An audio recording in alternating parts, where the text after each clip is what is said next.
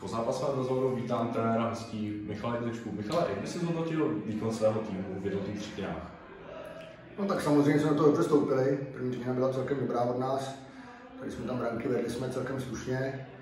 Samozřejmě Lípa byla tu první třetinu taková doslova, že nám přišlo.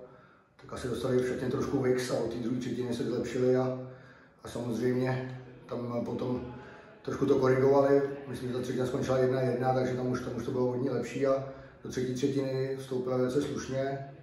Ten zápas vlastně vyrovnala, takže, takže potom jsme museli trošku šáhnout do sestavy, vypustit reprezentanty, stáhnout na dvě liny, protože samozřejmě pro nás pohár je hodně vysoko a chtěli jsme tady vyhrát za každou cenu, tak jsme to museli udělat a jsem rád, že jsme nakonec vyhráli.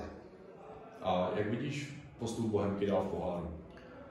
No tak uvidíme, teďka budeme hrát s Libercem, asi vše vede, vede Chomutově, takže bychom tady rádi už je postoupili a pak už to bude, už to bude boj, no.